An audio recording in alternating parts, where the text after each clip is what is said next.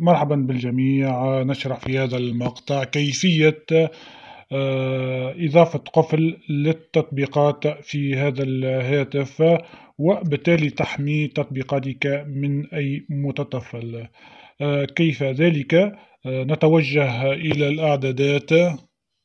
ثم نمرر إلى الأسفل حتى نصل إلى خيار الخصوصية. نضغط على الخصوصية.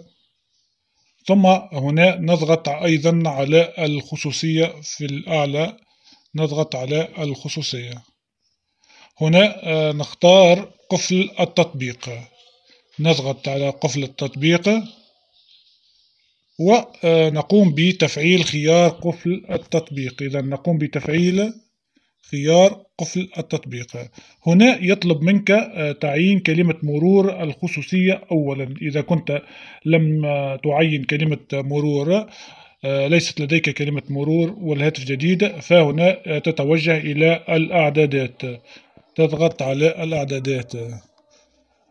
تقوم بتعيين كلمة مرور. يمكنك اختيار أما بالأرقام أو استخدام كلمة مرور أخرى. هنا لديك عدة خيارات. نقش أبجدي رقمي أو أرقام. سوف نقوم باختيار النقش. بعد ذلك نقوم بتحديد النقش. هنا سوف يطلب منك اسم أو سؤال الأمان. في حال نسيت كلمة المرور الخاصة بالتطبيقات فسوف يطلب منك سؤال الأمان. السؤال هنا ما هو اسم المعلم السابق؟ ويمكنك اختيار اسم آخر مثل اسم الأم الأب اسم مدرسة أو غيره وغيرها. سوف نقوم على سبيل المثال بكتابة اسم المعلم.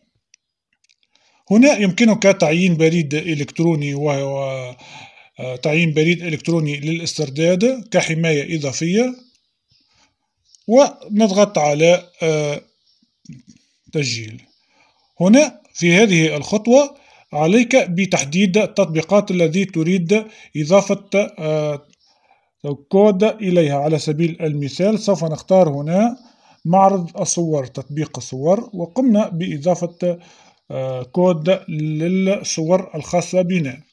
بالعودة إلى الشاشة الرئيسية عندما نضغط على معرض الصور كما تشاهدون يطلب منا كود آه، كلمة مرور الخصوصية. وهكذا آه، بهذه الطريقة تكون أضفت حماية للتطبيقات الخاصة بك. هذا آه، كل شيء.